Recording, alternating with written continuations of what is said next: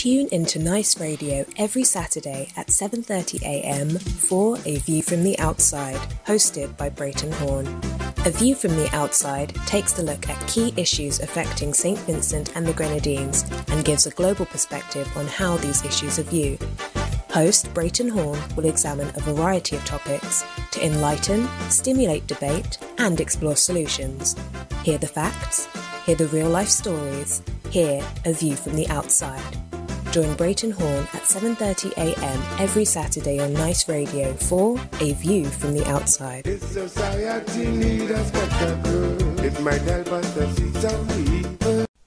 On A View from the Outside this week, this week being the 18th of September 2021, we look at distraction, with the view being that Vincentians ought to be encouraged to stay the course, focus on the issues which are pressing and need urgent attention, focus on the issues for which answers need to be provided.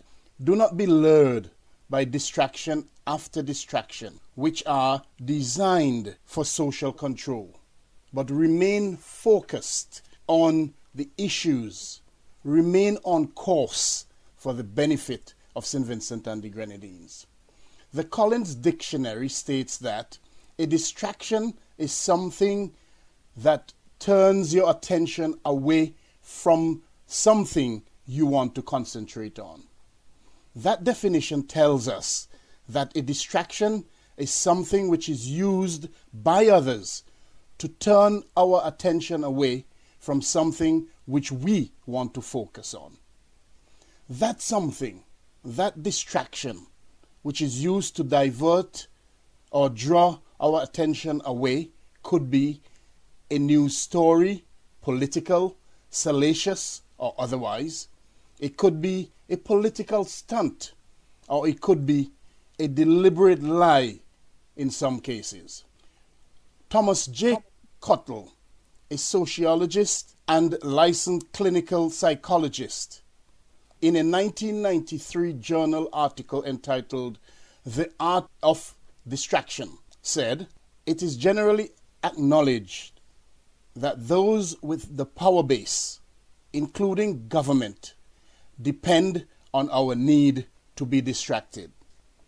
Other political commentators have said that politicians use distraction to serve their sinister and selfish purpose, and that they use distraction to disrupt public attention and also to silence dissent. It is with that definition in mind, as well as the opinions of political commentators, that we, here on a view from the outside, encourage Vincentians not to be distracted or fall for the distraction of those with the power base in the country. It is precisely for that reason that we say ignore the distraction and stay on course.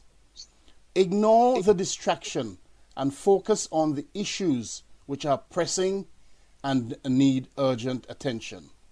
Ignore the distraction and focus on the issues for which answers need to be provided.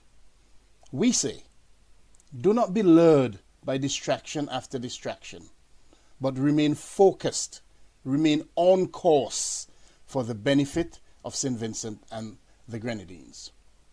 In order to remain on course, it is necessary for us, Vincentians, to ignore the distraction of a newspaper or social media article especially those that purport to tell us what is trending in St. Vincent and the Grenadines.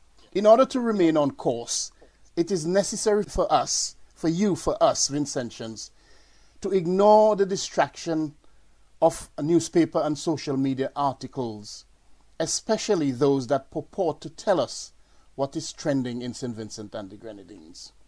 Ignore them because you know what is trending. Continue to highlight the need for the regime to provide accountability to the people of the country.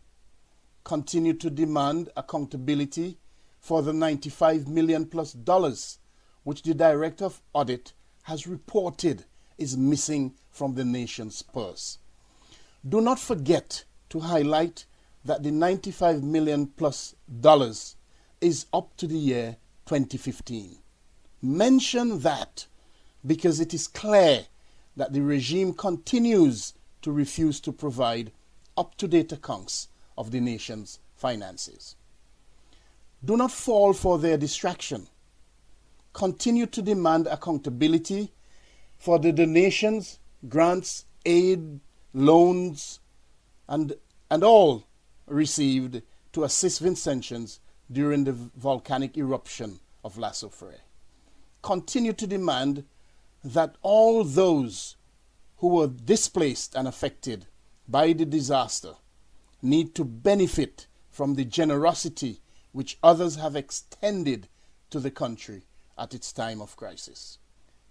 The distraction of a newspaper or social media article purporting to provide accountability for the disaster funds should not sway you or divert you or divert your focus away from your continuing demand for accountability.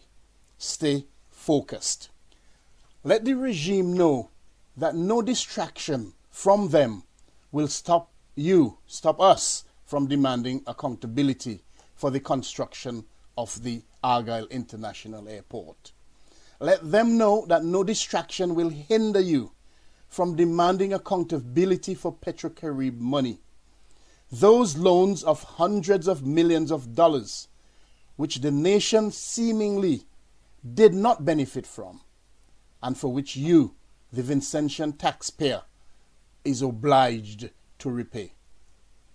Do not let the distraction of the scaremongering and intimidatory tactic or talk of buying body bags and freezers stop you from exercising your constitutional right to protest. Protest does work. Let it work for you and for St. Vincent and the Grenadines. Do not let any distraction, such as combat gears, new gears, hinder you from demanding an end to police brutality in the country. Policemen and women are sons and daughters of Vincentians. They have brothers and sisters, aunts and uncles, and other relatives in the country. We are all Vincentians. Continue to make the call for those in authority to stop the brutality of their people, our people. Do not let any distraction prevent you from highlighting the injustice taking place in the country. Continue to highlight the injustice to Yogi Farrell, Bigger Biggs, Marcus De Freitas, Dr. Wayne Murray, his wife Simone Murray, and their family, and all of the others who suffer the maliciousness, the vindictiveness, and the callousness of the ULP regime. Do not let any distraction stop you from continuing to demand justice for all in St. Vincent and the Grenadines. Your demand for justice for Anna Mae Lewis has already yielded fruits. Your outcry forced the prosecution to drop the charge against her that she wounded Prime Minister Dr. Ralph Gonsalves. The headlines relating to that are evident around the region and the world. Do not fall for any distraction. Continue to demand justice for Cornelius John. Always highlight the fact that he reported that Senator Ashelle Morgan, a ULP senator and deputy speaker of the House of Assembly, along with Karim Nelson, the deputy director of public prosecutions, and another man trespassed on his private property. He alleged that they threatened him, beat him, and shot him in the leg before fleeing the scene. He alleged that Ashelle Morgan threatened him at gunpoint and that Karim Nelson shot him in the leg. Yet he, the victim, faces criminal charges. Do not let any distraction stop you from continuing to point out that whilst his case is yet to be decided by the court, grave injustice is revealed in the stark disparity of the police investigation pertaining to the treatment of the victim, Mr. John, and the seeming protection afforded to those accused, in particular to Ashelle Morgan. Continue to demand justice for those who had members of the Black Squad with assault rifles and other guns on display searched their homes and wantonly arrested and charged them simply for having exercised their right to protest. Demand justice for Corinne Ballantyne, Adriana King, Kenson King, Colin Graham, Tyrone James, Luzette King, Robert Patches Knights King, Joseph De Silva, Carly John, John Mofford, Casper G., Sherry Ann Kane, and others. Do not let any distraction prevent you from highlighting the corruption and the corrupt practices taking place in the country. Let them know that it is time for a cleanup and that you are fed up of the international headlines that St. Vincent and the Grenadines is notorious for money laundering. Let them know that you are fed up with the country's purse being always empty, with extreme poverty touching the doorsteps of most Vincentians, while few live in opulence and are purported to have millions of dollars stashed away in bank accounts overseas. Do not let any distraction prevent you from highlighting the failed projects of the ULP regime or projects with which the regime itself is associated. Projects including the geothermal project, which failed spectacularly, leaving behind significant damage to the ecosystem. Projects including the mass band project at Roseau, which lies in ruins. The failed cross country road, which is mockingly described as having a beginning and an end, but no middle. Projects such as the failed fishing complex at Owia. Projects such as the Black Sands Hotel project at Mount Wynne, which shows very little or no progress in its development for what seems like an interminable length of time. The failed housing or, and or public health policy where citizens are forced to return to the red zone after a natural disaster with no proper structural checks and cleanup of their homes and with no clean water supply.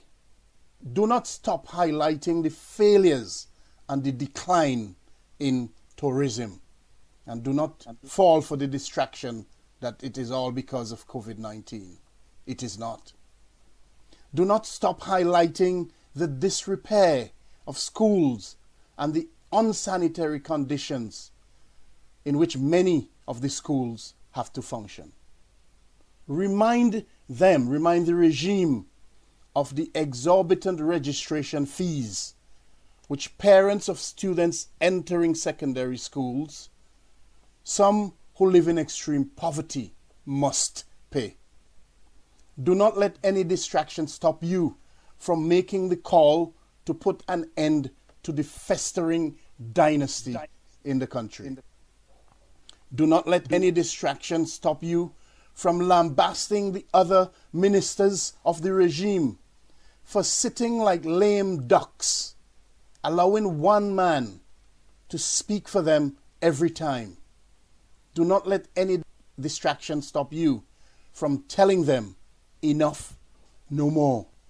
Let them know that the people will not forgive any of them for showing no fortitude and for not standing up for the very people who voted for them. Let them know that they are failing miserably. Let them know that what they show are definitely not the qualities of a leader.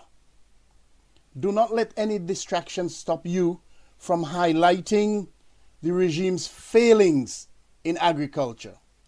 And farmers who once enjoyed their independence have been forced into extreme poverty and have become the recipients of poor relief. Many believe that the plight of the farmers who were once such an independent and formidable group, many believe that their plight was deliberate. It was a deliberate ploy to take away their formidability and their independence. Do not let any distraction prevent you from speaking about the high unemployment rate in the country, especially the high unemployment rate among the youths. And do not let it stop you from pointing out how many of these youths and their families exist in extreme poverty. Whenever they come with a distraction, remind them of the escalating crime rate in the country, where murder and other serious crimes are spiraling out of control. Whatever distraction they come with, they must be reminded of the poor state of healthcare in the country. So poor is the state of healthcare that there is always a chronic shortage of basic medication and supplies. So poor is the state of healthcare in the country that those in the echelons of the regime do not use the substandard facilities available, but instead they fly out to avail themselves to the best treatment, while the rest of the country have to be satisfied with what is provided. So poor is the state of health care in the country that the Prime Minister himself chose to fly out to Barbados to get an MRI scan for what has been described as a minor injury to his head. Imagine that. In this day and age, such a scan is not available in St. Vincent and the Grenadines. So when they come with their distraction, remind them of all of that. There are so many more issues which we, here on A View from the Outside, can highlight. However, time has run away from us. And so, we turn the discussion over to you for you to continue it with your friends and family.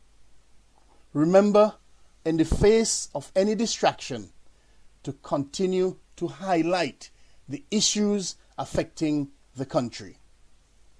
The time is right and proper. The time is now to ignore the distractions. As you continue the discussion, Stay focused and unwavering and do not be swayed by the distractions. As you do that, ponder on the words of the distinguished American linguist, philosopher, historian, social critic, and political activist, Noam Chomsky, who said, The key element of social control is the strategy of distraction that is to divert public attention from important issues. Until next week, Justin and all of the listeners, this is Brereton Horne with a view from the outside, with a reminder to send feedback as usual to a view from the outside at hotmail.com. We invite you to visit and like our Facebook page at A View from the Outside and to subscribe to our YouTube channel at JMB Horn. Justin, you and all of the listeners have a pleasant Saturday. Have a wonderful Sunday and have a productive week ahead where you make the effort to ignore the distractions and highlight the issues affecting the country.